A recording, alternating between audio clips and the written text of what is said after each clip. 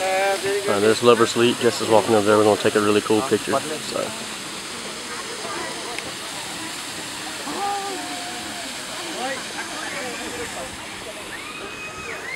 Are you getting that rock also?